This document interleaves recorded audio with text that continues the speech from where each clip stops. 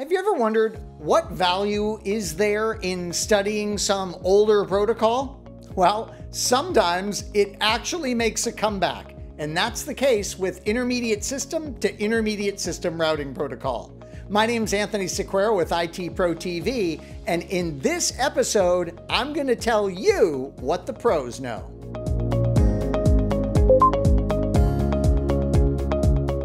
So, it was decades ago.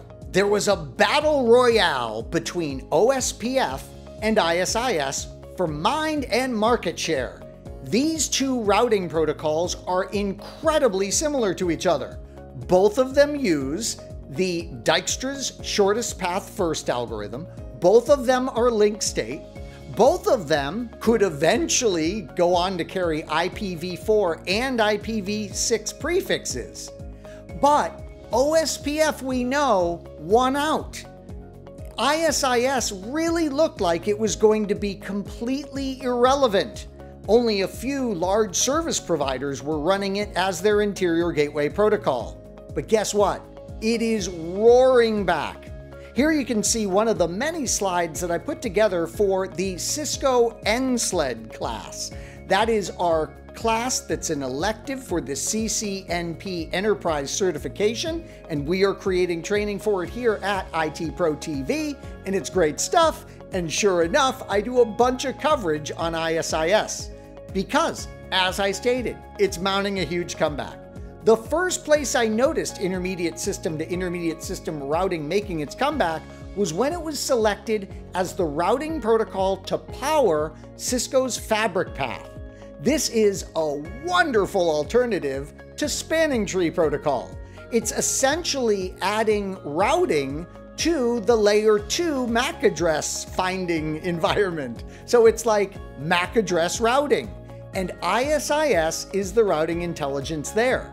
It didn't surprise me much when I saw that ISIS was the recommended IGP to offer in your underlay of the SD Access solution the software defined access solution from Cisco Systems.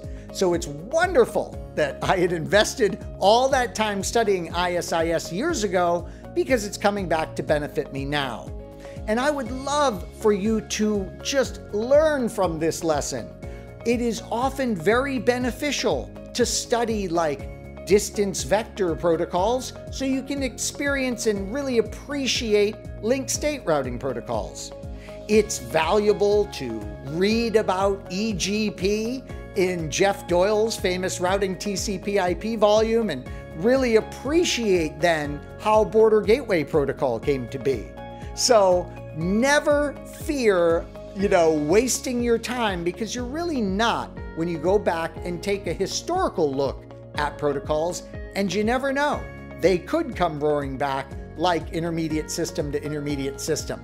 I hope I've piqued your interest on ISIS, and I hope you'd consider joining me to look at scalable routing designs for not only this protocol, but also EIGRP, OSPF, and of course BGP, along with other great design topics that are in the ENSLD training here at IT Pro TV.